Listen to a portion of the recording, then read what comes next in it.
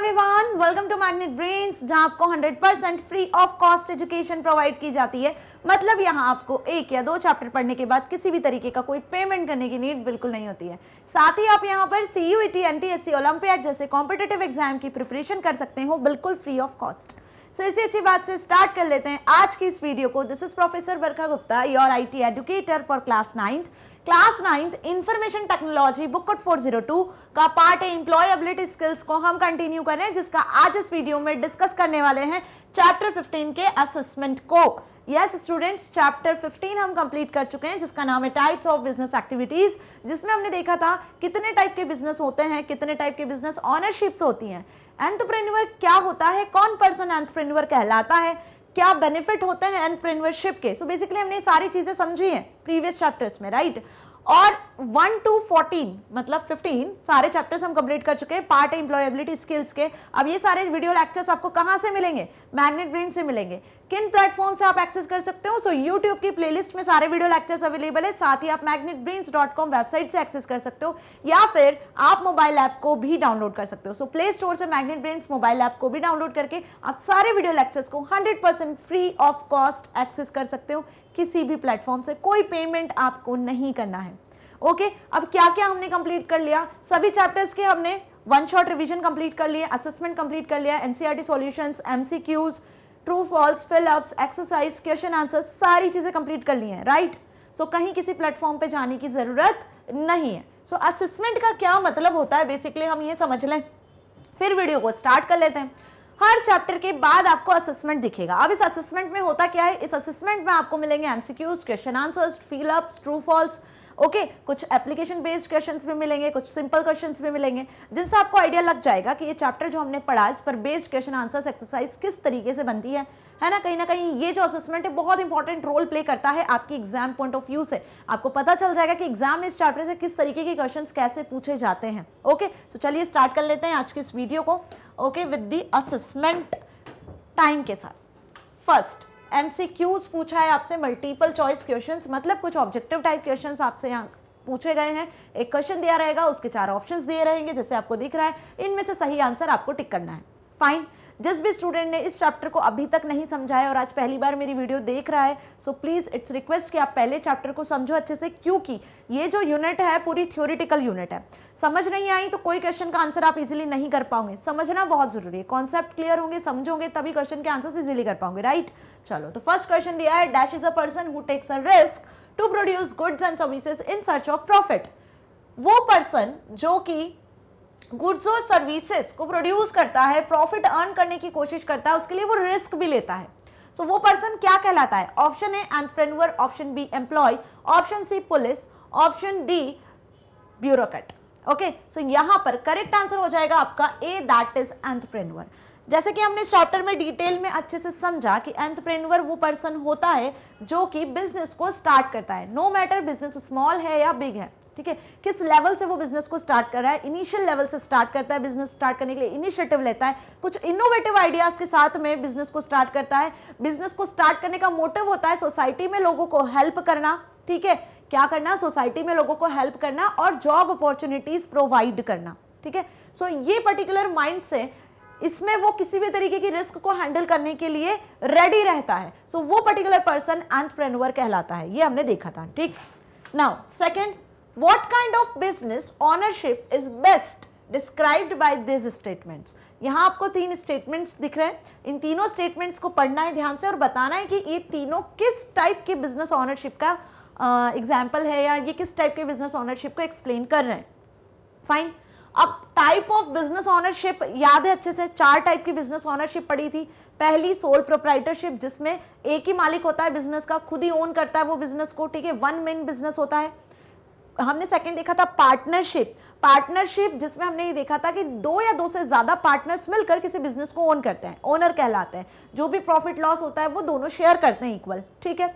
Next हमने देखा था पार्टनरशिप के बाद कॉर्पोरेशन कॉर्पोरेशन में यहाँ पर कुछ शेयर होल्डर्स होते हैं, कुछ इन्वेस्टर्स होते हैं, जो कि ज्वाइंटली डिसीज़न लेते हैं ज्वाइंटली कंपनी को ओन करते हैं राइट right? उन सभी की रिस्पॉन्सिबिलिटी होती है कंपनी को प्रॉफिट अर्न करवाने की। तो यहाँ पे एक पैनल बैठता है बोर्ड ऑफ़ डायरेक्टर्स उन पर्टिकुलर पर्सन को इलेक्ट करते हैं, वो कॉरपोरेशन होता है। फोर्थ देखा था कॉपरेटिव कोऑपरेटिव में क्या होता है? यहाँ पे कुछ मेंबर्स की कमेटी बनती है। वो मेंबर्स की कमेटी सोसाइटी को हेल्प करने के लिए बनाई जाती है। वो बिज़नेस जो सोसाइटी को हेल्प करने के लिए बनाया जाता है जिसका मोटिव सिर्फ़ प्रॉफिट अर्न करना नहीं होता है। नॉन प्रॉफिट बिज़नेस कहलाता है ये राइट जिसमें जो भी सोसाइटी में लोग हैं उनको किस तरीके से आगे बढ़ाया जाए? जो स्मॉल बिजनेसेस है उनको कैसे आगे ग्रो कराना है? उसके लिए ही पर्टिकुलरली कोऑपरेटिव बिज़नेस होते हैं। राइट? सो so, ये चार टाइप के बिज़नेस ऑनरशिप हमने देखी थी। फाइन अब यहाँ पे स्टेटमेंट पढ़ लेते हैं और बताना कि चारों में से कौन सा करेक्ट आंसर है। जो मैंने बोले वही चारों ऑप्शंस आपको दिख रहे हैं sole proprietorship corporation partnership and cooperative fine चलो, पढ़ते हैं statements first I am the only owner of my business अपने बिज़नेस का मैं खुद अकेला मालिक हूँ। I take all the risk of doing business business करते समय जो भी रिस्क आएगी तो उसके रिस्पॉन्सिबल सिर्फ़ मैं ही हूँगा मैं सारी रिस्क लूँगा। I keep all the profit जो भी प्रॉफिट होगा वो भी मेरा होगा राइट? मैं ही रखूँगा। सो so, यहाँ पे बात किसकी हो रही है? यहाँ पे एक सिंगल ओनर की बात हो रही है।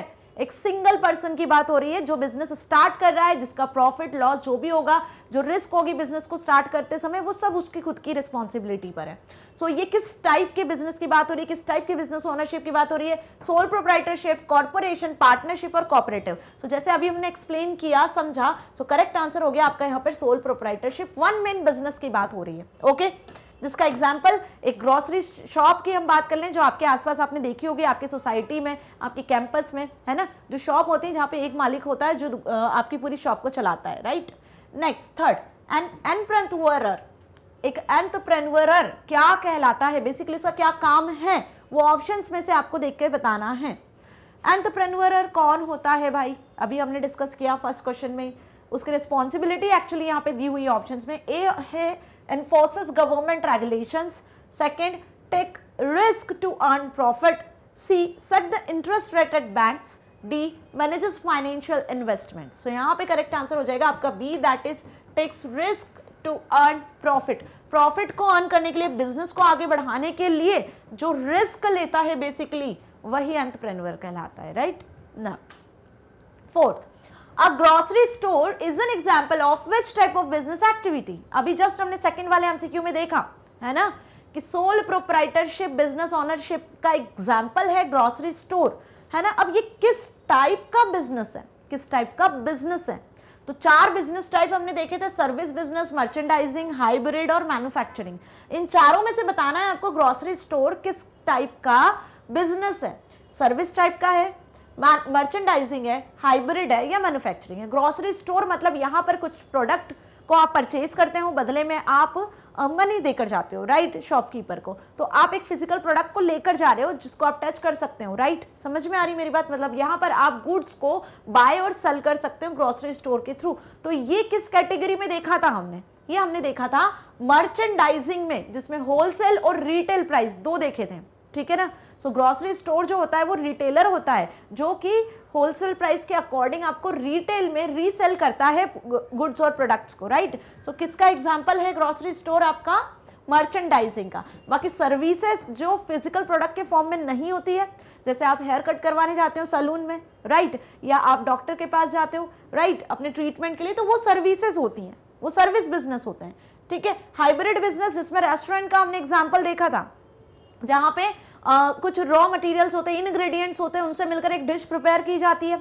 तो कुछ प्रोडक्ट प्रिपेयर किया जा रहा है। समझ में आ रही है मेरी बात? या फिर पैकेज्ड फ़ूड भी वहाँ पे आपको मिल जाते हैं है ना? और फिर ऑर्डर्स भी लिए जाते हैं। होम डिलीवरीज वगैरह भी प्रोवाइड की जाती है तो सर्विसेज़ भी प्रोवाइड हो रही है। तो जहाँ पे सर्विसेज़ मर्चेंडाइजिंग मैन्युफैक्चरिंग जैसे तीनों चीज़ें इंक्लूड हो रही है, वो हाइब्रिड हो जाता है। जिसमें रेस्टोरेंट आ जाते हैं, ठीक है? मैन्युफैक्चरिंग में जो कंपनीज़ होती हैं, है ना, जो रॉ मटेरियल्स लेकर आती हैं और उसके अकॉर्डिंग फिर कोई प्रोडक्ट प्रिपेयर करती है, जिसमें मशीन लेबर्स वगैरह टूल्स सब चीज़ें यूज़ की जाती हैं, वो मैन्युफैक्चरिंग में आ जाता है मैन्युफैक्चरिंग बिज़नेस सो एक डेडिकेटेड वीडियो मैंने इस पर बनाया हुआ है, जिसमें हमने सर्विसेज़ मर्चेंडाइजिंग हाइब्रिड मैन्युफैक्चरिंग चारों टाइप के बिज़नेस को समझाए ओके सो ग्रोसरी स्टोर जो है वो किसका एग्ज़ाम्पल है? यहाँ पर मर्चेंडाइजिंग का। फाइन ना fifth what is the advantage of cooperative cooperative का कौन सा एडवांटेज है? तो अभी प्रीवियस टू प्रीवियस एमसीक्यू में देखा, चार टाइप के बिज़नेस ओनरशिप अच्छे से समझाया आपको कॉपरेटिव सोल प्रोप्राइटरशिप कॉर्पोरेशन है ना? और एक और समझा था हमने पार्टनरशिप राइट तो यहाँ पे कॉपरेटिव का कौन सा एडवांटेज है? कॉपरेटिव का advantage first income tax exemption B minimal government regulation C short life span D single ownership तो ये तो होता ही नहीं है. शॉर्ट लाइफ स्पैन भी नहीं होता सिंगल ऑनरशिप भी नहीं होता. है गवर्नमेंट का रेगुलेशन मिनिमल ये भी नहीं. गवर्नमेंट तो फुली इन्वॉल्व रहती है ना. ठीक है? Income tax exemption yes income tax नहीं पे करना होता है. किसे कॉपरेटिव बिज़नेस ऑनरशिप में जो कमेटी होती है, जो मेंबर्स होते हैं, उनको इनकम टैक्स की छूट मिल जाती है. Right right? सो so, क्या हो गया यहाँ पर? A is the correct answer just because this is the advantage of cooperative business ownership so यहाँ पे एमसीक्यूज फिनिश हुए. Hope you understand the type of MCQs किस तरीके के एमसीक्यूज आपसे पूछे गए हैं? कैसे टॉपिक्स से लिए गए हैं basically okay now fill in the blanks अब फिल इन द ब्लैंक्स में आपको क्या दिया हुआ है? यहाँ हिंट भी दी हुई है. पहले तो देख लो. फिल फिलअप बाद में देखेंगे. पहले हिंट देख लेते हैं.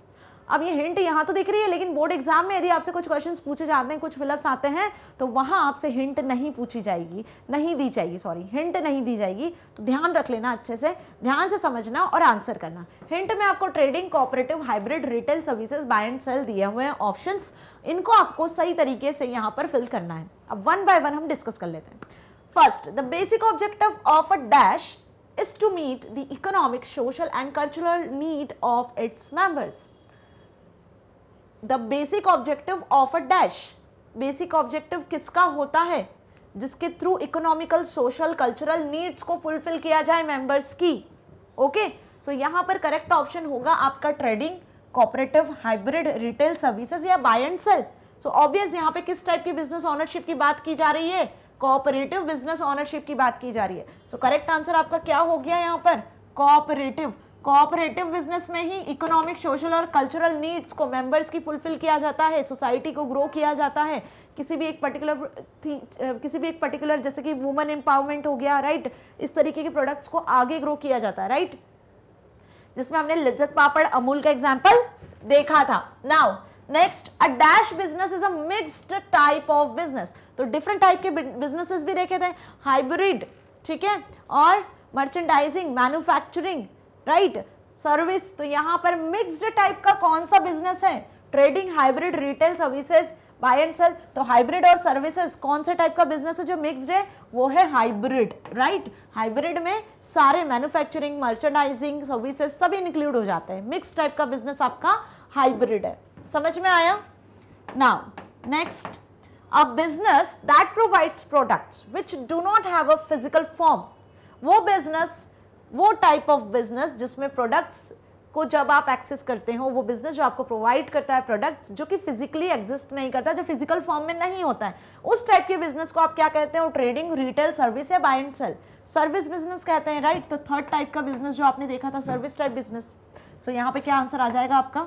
Services now dash price is the price of goods और products when they are sold to customers for consumption and not for resale. वो प्राइस पर जो गुड्स और प्रोडक्ट्स आपको मिलते हैं कस्टमर्स को बेसिकली जिस प्राइस पर गुड्स और प्रोडक्ट मिलते हैं, जो कस्टमर्स के लिए होते हैं, जो वापस रीसेल में नहीं प्रोवाइड किए जाते हैं, वो क्या होते हैं? आपके रिटेल होते हैं बाय एंड सेल या ट्रेडिंग तो ऑब्वियस वो क्या होते हैं? रिटेल होते हैं. जो रिटेल प्राइस होते हैं ना जो मर्चेंडाइजिंग में हमने देखा था retail price wholesale price right तो रिटेल प्राइस वो प्राइस होता है गुड्स और प्रोडक्ट्स का, जिसके अकॉर्डिंग कस्टमर्स को प्रोडक्ट सेल किए जाते हैं, जो कि रीसेल के लिए फिर नहीं होता है okay merchandising business is also known as merchandising business को हम क्या कहते हैं? मर्चेंडाइजिंग बिज़नेस को हम ट्रेडिंग बिज़नेस कहते हैं, या फिर बाय एंड सेल कहते हैं। क्या कहते हैं? या फिर buy and sell so so, ध्यान रखना ये चीज़ अच्छे से right right?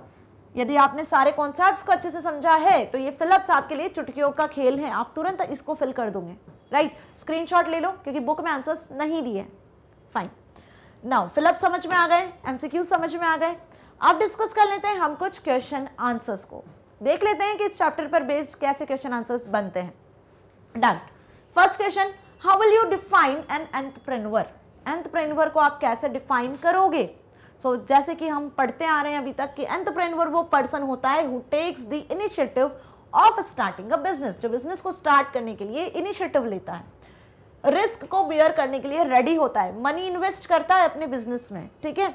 Manage at all levels and is responsible for it success और फेलियर बिज़नेस आगे सक्सेस होगा या फेलियर अचीव करेगा, उसके लिए वो खुद रिस्पॉन्सिबल होता है। मनी इन्वेस्ट करता है रिस्क लेता है बिज़नेस को आगे बढ़ाने के लिए, ठीक है? बिज़नेस को स्टार्ट करने के लिए इनिशिएटिव लेता है इनोवेटिव आइडियाज़ का यूज़ करता है बिज़नेस को स्टार्ट करने के लिए। He is an entrepreneur okay समझ में आ गया? डेफिनेशन लिख कर आ जाओगे ना सही तरीके से। Now what do you understand by term business business का क्या मतलब होता है भाई?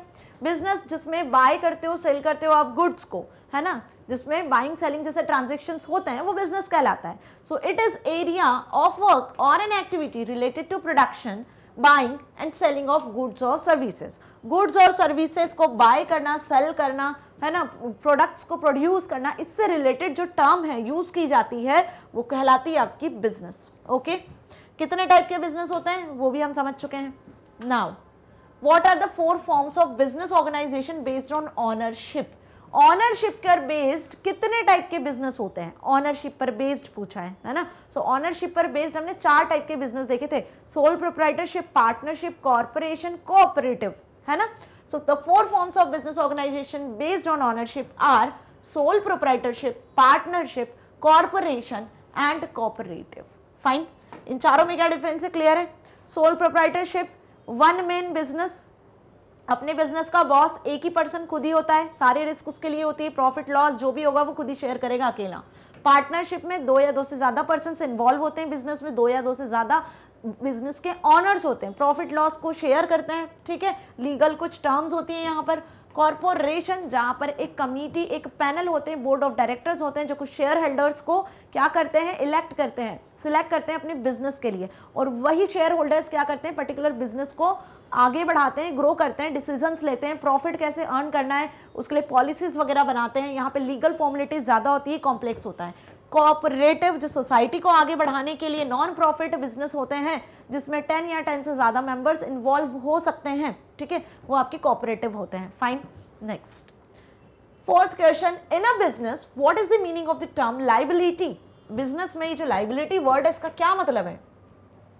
लाइबिलिटी का बेसिकली मतलब होता है यहाँ पर रिस्पॉन्सिबिलिटी तो बिज़नेस टर्म में हम रिस्पॉन्सिबिलिटी को लाइबिलिटी के मतलब से जानते हैं। मतलब हिंदी में बोले तो दायित्व, कि बिज़नेस को आगे बढ़ाने के लिए क्या दायित्व होते हैं बिज़नेस ऑनर्स के पार्टनर्स के right so all forms of business ownership have liabilities जितने भी टाइप की बिज़नेस ऑनरशिप अभी हमने प्रीवियस क्वेश्चन में देखी सभी में लाइबिलिटीज होती हैं। Being legally responsible for a business as liability भाई लीगली आप रिस्पॉन्सिबल हो अपने बिज़नेस के लिए, है ना?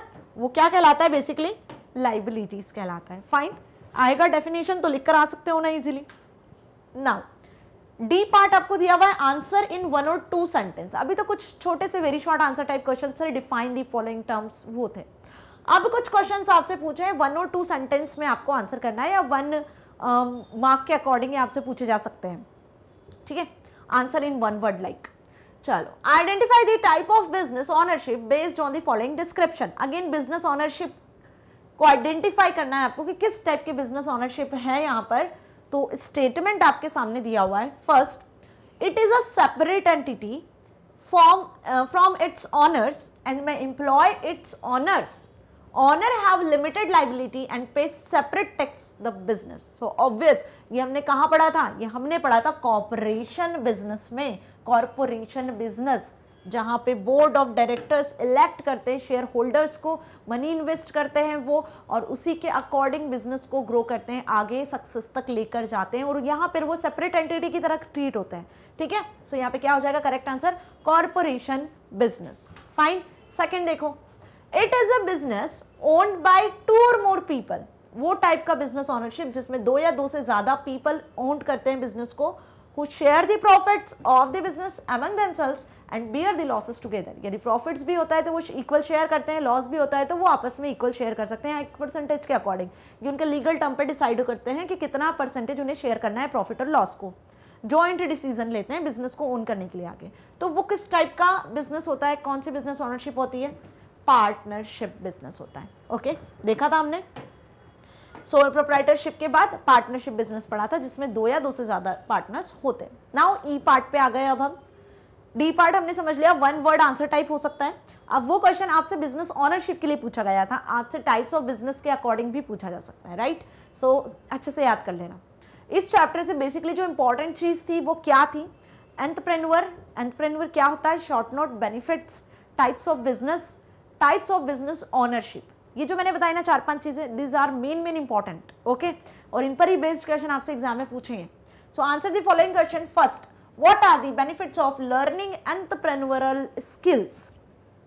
Entrepreneurial skills के क्या बेनिफिट्स हैं? वो आपको यहाँ बताने हैं। तो पहली वीडियो में हमने समझा था, ठीक है? The benefits of studying entrepreneurship are first it helps to think about new business idea एक एंटरप्रेन्योर बनने से आपके अंदर नए नए आइडियाज़ आते हैं। आप इनोवेटिव आइडियाज़ के अकॉर्डिंग कैसे बिज़नेस को स्टार्ट करना है, वो सोच सकते हो। उसमें हेल्प करता है। It helps to cultivate skills and knowledge for starting an enterprise यदि आप कोई एंटरप्राइज स्टार्ट करना चाहते हो, कोई कंपनी कोई ऑर्गेनाइजेशन स्टार्ट करना चाहते हो तो आप किस तरीके से अपने स्किल्स को नॉलेज को यूज़ कर सकते हो, उसमें हेल्प करता है। It develops business skills entrepreneurship से आपके बिज़नेस स्किल्स बढ़ते हैं। उस एरियाज़ में, बल्कि जहाँ पर आप बिज़नेस को शुरू करना चाहते हो, जैसे finance sales marketing management and accounting okay इसका बेस्ट एग्जांपल हमने ग्रॉसरी स्टोर वाले पर्सन से समझा था, जो ग्रॉसरी का शॉपकीपर होता है। उसके ऊपर एक अकेले पर्सन के ऊपर कितनी रिस्पॉन्सिबिलिटी होती है? यदि वहाँ उसने कुछ इंप्लॉयज़ लगा रखे तो इंप्लॉयज़ को पे करना। शॉप का रेंट पे करना इलेक्ट्रिसिटी बिल भरना, एक साथ बहुत सारे कस्टमर्स आ गए तो उनके साथ एक समय पे एक पर्सन को कैसे डील करना है? कस्टमर्स आर्ग्यू करें तो उसे कैसे पेशेंस के साथ में हैंडल करना है? सो so, बहुत सारी चीज़ें स्टॉक मेंटेन करना है सारी चीज़ें फ्रेश रहे। सो so, बहुत सारी चीज़ें होती हैं सेल्स मार्केटिंग मैनेजमेंट अकाउंटिंग इन सारी चीज़ों एंड एक सक्सेसफुल एंटरप्रेन्योर ये सारे स्किल्स को कहीं ना कहीं डेवलप करता है। Okay it helps in development of other skills such as adaptability effective communication business discipline and confidence the most important thing is discipline and confidence यदि ये है तो आपको एक सक्सेसफुल एंटरप्रेन्योर बनने से कोई नहीं रोक सकता है right? so, ये बेनिफिट्स आपको अच्छे से समझ में आ गए लिख कर आ जाओगे एग्ज़ाम में आएगा तो okay now second why is liability important factor in any business business में लाइबिलिटी क्यों एक इंपॉर्टेंट फैक्टर है so liability is a very important factor in business A liability defines the agreement between two parties where one needs to pay for other. Liabilities are paid for large expansions. देखो business में यदि हम liability की बात करें तो यहाँ पे इसे हम क्या बोलते हैं मतलब बिज़नेस में रिस्पॉन्सिबिलिटी होती है तो रिस्पॉन्सिबिलिटी को एक लीगल टर्म में बिज़नेस में लाइबिलिटी कहा जाता है तो ये यदि दो या दो से ज़्यादा पर्सन बिज़नेस को संभाल रहे हैं तो एक एग्रीमेंट होता है। उन सभी की रिस्पॉन्सिबिलिटी होती है तो उसके लिए एक एग्रीमेंट साइन किया जाता है। दायित्व हम जिसे कहते हैं कि भाई, मेरी रिस्पॉन्सिबिलिटी ये है, इसकी रिस्पॉन्सिबिलिटी ये है, ठीक है? तो लाइबिलिटी क्या है? एक इंपॉर्टेंट फैक्टर है बिज़नेस में। Liability defines the agreement between two parties where one need to pay for other liabilities are paid for large expansion they are the depth which occurs during the time of business operation this includes the amount which are payable in short term and long term अब ये liability short term long term दोनों के लिए हो सकता है, ठीक है? हम यहाँ पर इसे एज ए एक्सपेंस भी बोल सकते हैं। Clear now third question explain the differences between sole proprietorship and partnership which is the most important question जैसे कि मैं बताती चली आ रही हूँ कि डिफरेंस पॉइंट ऑफ़ व्यू से आप सारे पॉइंट्स को याद करना, सारे टाइप्स को याद करना तो अच्छे से याद रहेंगे और यदि डिफरेंस भी आता है तो आप इजिली लिखकर आ सकते हो, है ना? तो सोल प्रोप्राइटरशिप और पार्टनरशिप में क्या डिफरेंस है? सोल प्रोप्राइटरशिप मतलब वन मेन बिज़नेस जिस पर्टिकुलर बिज़नेस का खुद एक ही मालिक होता है ठीक है? वो आपका single owner sole proprietorship partnership जहाँ पे दो या दो से ज़्यादा ओनर्स होते हैं। तो डिफरेंस मैंने इसी के अकॉर्डिंग बनाया है। ओनरशिप सोल प्रोप्राइटरशिप में एक सिंगल ओनर होता है। पार्टनरशिप में टू या मोर ओनर्स होते हैं। ओके okay, सेकंड देखो प्रॉफिट और लॉसेस यहाँ पे यदि प्रॉफिट होता है या लॉस होता है तो वो सिंगल ऑनर की रिस्पॉन्सिबिलिटी है। वो खुद ही ओन करता है। All profits go to the sole owner right whole sole जो भी हो रहा है, सब उसकी रिस्पॉन्सिबिलिटी यहाँ पे देखो प्रॉफिट या लॉस जो भी होगा तो वो स्प्लिट हो जाएगा, जितने भी पार्टनर्स होंगे, उन सभी के बीच में। तो प्रॉफिट स्प्लिट इक्वली और by predetermined terms among is the owners right third देखो लाइबिलिटी जो भी लाइबिलिटी है, वो सब किसकी होती है? सोल प्रोप्राइटरशिप में ऑनर की होती है। कम खर्चों में, कम कॉस्ट में वो अपने बिज़नेस को स्टार्ट करता है। So the owner has unlimited liability but usually split among as the owners based on the terms terms के अकॉर्डिंग या लाइबिलिटी भी स्प्लिट होती है। दो या दो से ज़्यादा यदि पार्टनर्स है तो। डिसीज़न मेकिंग सारे डिसीज़न सिंगल ऑनर के ही होते हैं, है ना? So all decision for the firm are made by one owner यहाँ पे जो डिसीज़न होते हैं, वो ज्वाइंट डिसीज़न होते हैं। जितने पार्टनर से सब मिलकर एक ज्वाइंट डिसीज़न लेते हैं। So owners in the partnership are responsible for the decision okay so so, clear हो गया डिफरेंस अच्छे से? समझ आ गया? चार मार्क्स में आए तीन मार्क्स में आए दो मार्क्स में आए आराम से चारों याद करना और इसी के अकॉर्डिंग पॉइंट्स लिख कर आना। ठीक है? चलो। अभी ज़रूरी नहीं है कि पार्टनरशिप और सोल प्रोप्राइटरशिप में ही डिफरेंस पूछे। आपसे कोऑपरेटिव कॉपरेशन में पूछ सकते हैं। सोल प्रोप्राइटरशिप कोऑपरेटिव में पूछ सकते हैं। ओके सो डिफरेंस सभी के अच्छे से क्लियर कर आ, समझ में आना चाहिए। समझ लेना। Fine fourth what are some advantages of running a corporation form of business organization? Corporation form of business organization का क्या एडवांटेज है? कॉरपोरेशन कॉरपोरेशन समझ रहे हो ना? जहाँ पर शेयर होल्डर्स होते हैं बोर्ड ऑफ़ कमिटी होती है किसी एक कंपनी की जो कि शेयर होल्डर्स को क्या करती है? सिलेक्ट uh, करती है इलेक्ट करती है और शेयर होल्डर्स को ये राइट right होता है कि वो पर्टिकुलरली जो भी मनी इन्वेस्ट कर रहे हैं, उसके अकॉर्डिंग कंपनी की ग्रोथ हो हाईएस्ट मैक्सिमाइज प्रॉफिट तक लेकर जाया जा सके। ठीक है? ये बेसिकली इनका एम होता है गोल होता है। So there are several advantages to becoming corporation including the limited personal liability easy transfer of ownership ownership को आप इजीली ट्रांसफ़र भी कर सकते हो। बिज़नेस की कंटिन्यूटी मेंटेन रहती है चाहे कोई शेयर होल्डर रहे ना रहे बस बिज़नेस की कंटिन्यूटी मेंटेन रहती है। Better access to capital capital का बेटर एक्सेस होता है वे में and depending on corporation structure occasional tax benefits tax benefits भी मिलते हैं। ओकेजनली जो टैक्स लग, कम लगते हैं उसका बेनिफिट्स यहाँ पे मिल जाता है। Okay now F application based questions अब एप्लीकेशन बेस्ड क्वेश्चंस क्या हुए? ये देख लो। दो एप्लीकेशन बेस्ड क्वेश्चन यहाँ मिलेंगे। तो so, क्या बताया मैंने? असेसमेंट को बहुत अच्छे से करना किसी भी चैप्टर के। उससे आपको ना बहुत ज़्यादा कुछ आइडिया लग जाने वाला है। अब इस चैप्टर से एप्लीकेशन बेस्ड क्वेश्चन क्या दिया हुआ है? A group of fifteen retired people in your neighbourhood to start an organization to educate under privilege children पंद्रह रिटायर्ड पीपल ने एक ग्रुप बनाया है ठीक है?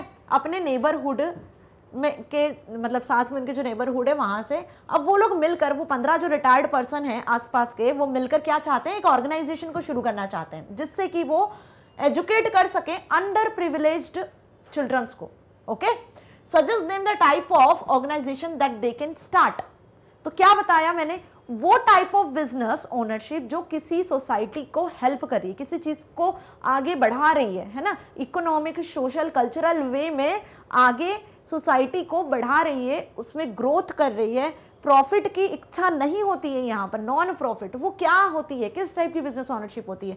वो होती है आपकी cooperative fourth type of business ownership so cooperative is an enterprise और an organization that is owned and manage jointly by those who are its members तो ये जो 15 पर्सन हैं, ये क्या हो गए? उस पर्टिकुलर कोऑपरेटिव बिज़नेस के मेंबर्स हो गए। Right right? चलो, आगे बढ़ते हैं, देखते हैं। सेकंड क्वेश्चन क्या दिया हुआ है? Surbhi wants to start her own boutique Surbhi अपनी खुद की बुटीक स्टार्ट करना चाहती है। She want to choose an option that requires minimum investment and business regulations क्या पूछा यहाँ पर? कि she want to choose an option उसको अब ऑप्शन सेलेक्ट करना है। दैट रिक्वायर्स मिनिमम इन्वेस्टमेंट जिसमें कम इन्वेस्टमेंट हो और उसका बिज़नेस प्रॉपर चल सके। Which business ownership option should she choose and why so कौन सा बिज़नेस यहाँ पे वो चूज़ करेगी और क्यों?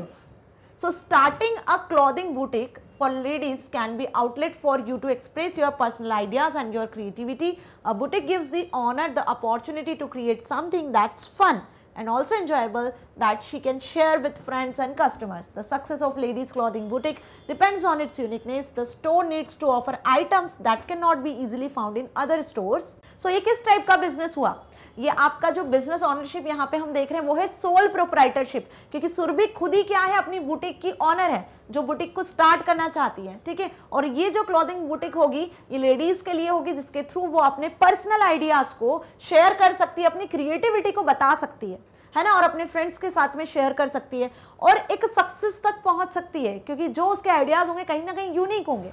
बात समझ में आ रही है? So the store needs to offer items that can not be easily found in other stores जो उसके बुटीक में चाहिए होंगी वो कहीं उसको किसी और बुटीक में कस्टमर्स को नहीं मिलेगी है ना? और वो इस पर्टिकुलर वर्क को खूब इंजॉय करके यूज़ करेगी जस्ट बिकॉज़ क्योंकि ये उसके इंटरेस्ट का वर्क है। सो so, मेरी बात समझ में आ रही है? तो सुरभि यहाँ पे एक सक्सेसफुल एंटरप्रेन्योर की तरह वर्क कर रही है और किस टाइप के बिज़नेस को यहाँ पे यूज़ कर रही है वो क्रिएट कर रही है? जो बिज़नेस ऑनरशिप है वो है सोल प्रोप्राइटरशिप सो so, समझ में आ गया विच बिज़नेस ऑनरशिप की बात की हुई है? सो सोल प्रोप्राइटरशिप यहाँ पे बिज़नेस ऑनरशिप यूज़ हुई है। लिख लेना ठीक है? नाउ यहाँ पे आपका असेसमेंट एंड हो गया है। Hope you understand each and every question जो अभी हमने डिस्कस किया।